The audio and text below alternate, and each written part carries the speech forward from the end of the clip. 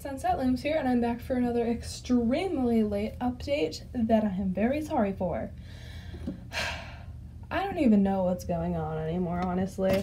I promised myself I was going to make a video every weekend, but that did not happen. Like, at all. And I'm sorry. So yeah, I will actually be making part of the dragon in this video again. Making, you're going to be making four of his little feet so yeah, that's gonna be fun, and I am once again so sorry. I don't know what's going on with me. Can't keep my motivation for these videos. Okay, so anyways, let's get started. To start, you're going to do a six loop magic ring. So just put three rings around your hook. Take one band of your body color, pull the band through that then make a gentle slip knot. Go back inside three rings. And then make a single crochet, which is where you just pull the band through, grab the other end, pull the first through the second and third. Do that four more times and come back to me once you're done with that. You're just going to take your stitch marker. Oh my goodness, I'm having a hard time again. Put it on your final band and close it. You can use a C-clip, S-clip, or a stitch marker. Doesn't really matter. Then what you're going to do is go into your first loop here and we're going to make an increase, which all you have to do is make two single crochets in the same stitch. Bring one band through, first through second and third, then go back in the same stitch you were just in.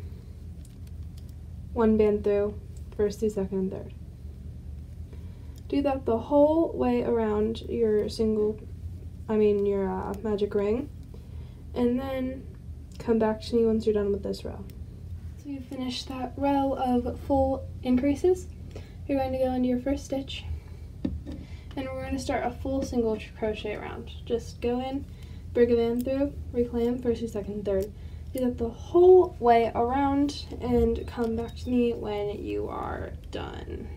Okay, now that you've finished those increase row, I mean just singular rows, you're going to be going into your first one and you're going to be doing a single single decrease row. So go in your first, bring a single crochet through, then go in your second stitch, bring another single crochet through that one. Then you're going to go into the back loop of your fourth stitch, then the back loop of your third stitch, pull the band through, to make your decrease. Do the whole way around and come back to me when you're done. Once you finish, you're going to go into one stitch over from your last one. Pull a band through everything on your hook. And slip knot it. Then you're going to take out your um, stitch holder. And there is your foot. You can stuff it with a tiny bit of stuffing to make it nice just make sure you put in not too much, not too little, just enough to fill it up a decent amount. You're going to make three more of these and come back to me when you are done. Once you have finished your three other feet, you are officially ready to um, start moving on to the head and the body, which will be in the next video. I will be posting most likely the tomorrow or next weekend. So thank you for watching.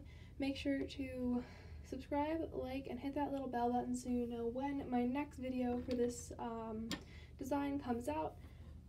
And if you like my designs or have any suggestions, make sure to comment and give me some ideas. Thanks for watching. Love you guys. Bye.